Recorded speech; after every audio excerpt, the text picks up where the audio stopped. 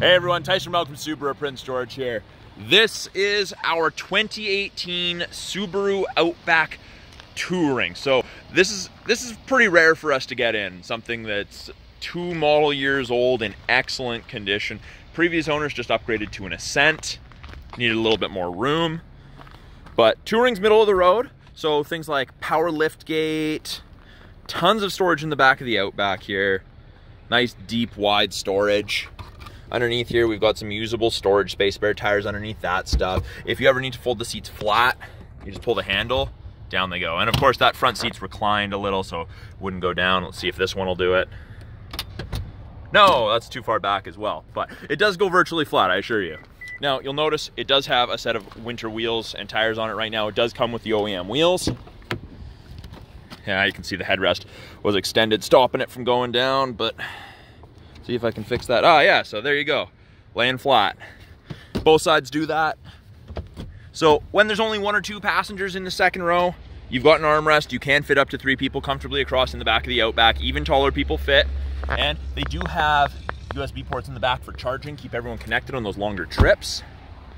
Outback, of course, has those built-in roof rails with crossbars probably my favorite feature on the Outback. Super functional, and you can just make out the outline there through the snow. You do, do have a tilt and slide sunroof in this.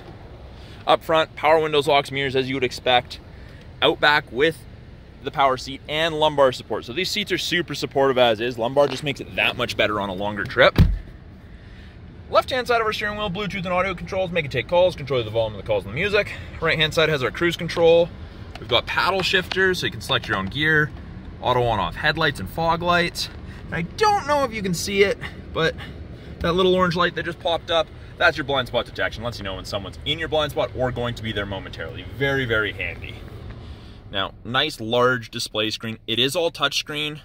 Even the buttons on the side here, touchscreen. Put it in reverse. Backup camera pops up, shows you the top of your bumper so you have something to relate to. Three stages of heated seats for the driver and passenger, and then dual zone climate control ranging from 32 all the way down to 18. So from freezing to tropical, and then it's easy to put it back. Up front here, we've got two USBs and auxiliary 12 volt. Also, this hasn't been detailed yet as it just came in, but it's pretty darn clean. So, and of course, it's an automatic transmission, and my favorite feature ever ever in any vehicle. The auto dimming mirror, so if some jerk has his high beams on behind you in the middle of the night, doesn't blind you, it automatically dims, there's no switch to flick. And it's got the HomeLink system, so three buttons there, you can hook it up to three separate garage doors, so you don't have to have a bulky opener with you. It's phenomenal. So that's a brief overview of the 2018 Subaru Outback Touring. I'm Tyson Melk from Subaru Prince George. Talk to you soon.